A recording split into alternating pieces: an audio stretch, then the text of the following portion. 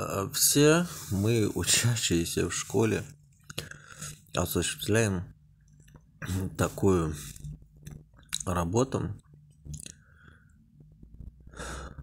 работу, относящуюся к обучению, конечно же.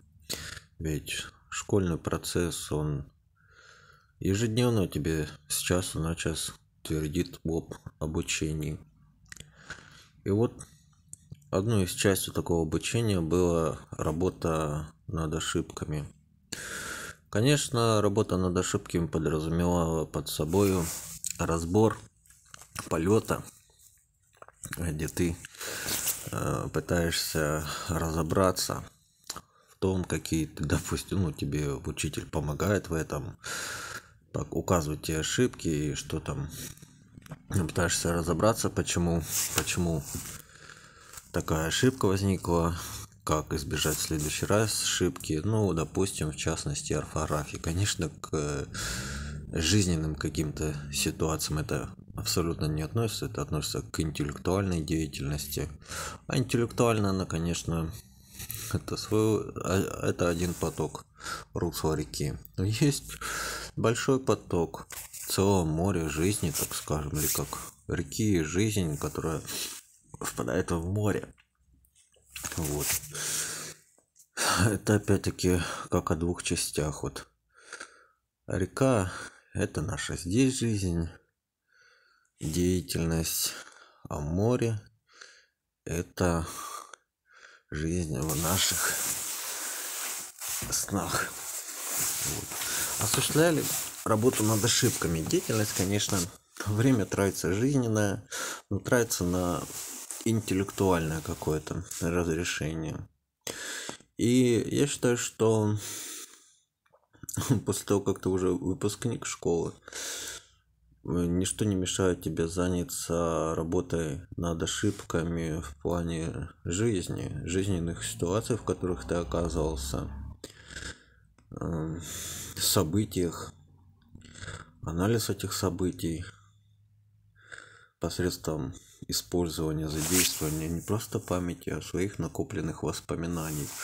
Просто у нас каждый день своими наложен так, что нам трудно вспомнить, что мы делали позавчера, 7 дней назад, 8 дней назад. Каждый день чуть ли не приходится записывать в этом плане, в плане того, чтобы детально вновь его вспомнить.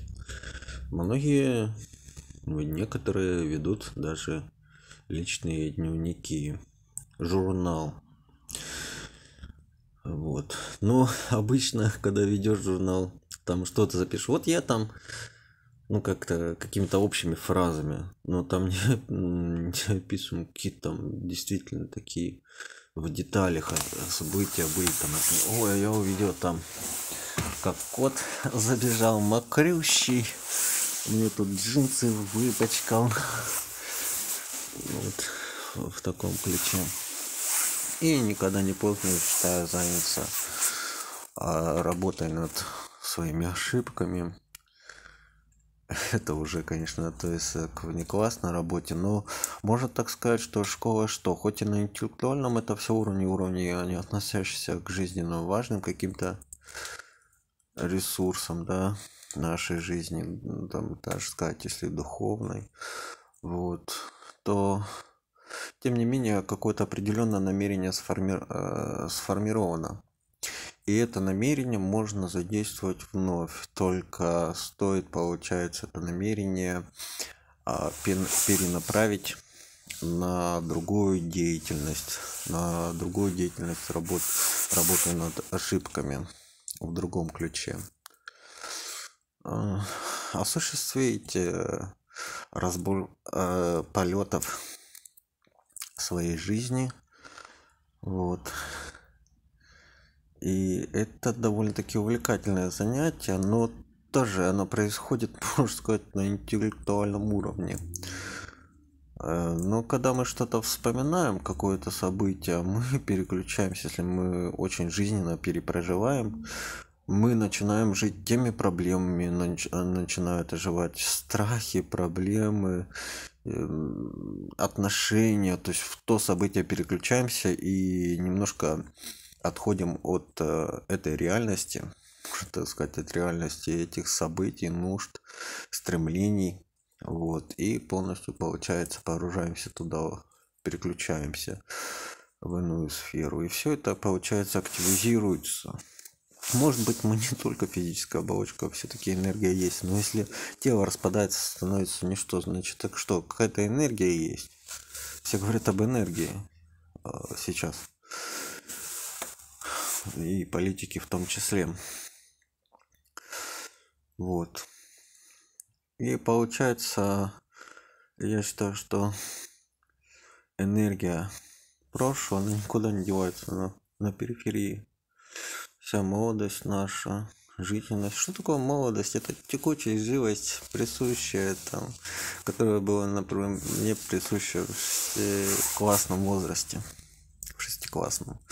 И можно намерением притягивать на возврат этой энергии активировать ее. Вот. Катализатором является наше намерение. Вот оно активируется, и мы подключаем вот это вот дыхание. Выдыхаем всю эту молодость, всю эту энергию активированную. И выдыхаем. Перерабатываем. А у нас два сознания, по сути. Если пронаблюдать за сюжетной линией своих снов, то там другое сознание, другая жизнь, другие какие-то мышления, не говоря уже о ситуациях. И суть заключается в том, что то, что мы прожили здесь, активируем это осознание, блок этого осознания, дыхание перемещаем своим сознанием в другую часть например чтобы в какой-то момент та наша вторая природа, две природы у нас, вот чтобы та, вторая, вторая та природа имела представление, возможность представления о нас самих, чтобы однажды, допустим, я в своем сне понял, о, блин, так у меня ж, у меня ж там куча всего интересного задач, здесь мы как-то э, можем остро задумываться о смерти, а в снах, сколько помню, не было такого осознания, осознанности. Типа, там вообще как бы все по барабану, там какая-то бессмертная сущность, и вообще пофиг. Ну и нам, в принципе, пофиг за что, того, что мы пугаемся сразу всего, боимся, и в какой-то момент начинаем вот отрицать, отвергать, как эти страусы. Чук в песок закопался, а кто-то перышки чик-чик-чик-чик-чик-чик. Э, того, что ты закрываешь глаза и пытаешься убрать все, предстоящую твою действительную смерть, ты тем самым еще больше туда ускоряешься лучше всего с закрытыми глазами, да, произойдет как-то страшно. От того, что ты тебе не предоставляют выхода, ты сам не, тебя не приучают к тому, что нужно самому искать выход, и плюс ты сам не ищешь выход. Естественно, что остается просто закрыть глаза и убежать, вообще забыться, там начинать что-то делать, потому что мы не знаем инструментов, элементов, чем разрешать такие вопросы и задачи. Осознанием, осознанностью, работая над ошибками – именно перепросмотр жизни. Где накопленное осознание, активизированное, перемещается на второй нашей части осознания, пребывающих в снах. Ведь и солнце дает свет и энергию. И этим можно пользоваться. И применять в своей жизни. Без белого света было бы темновато.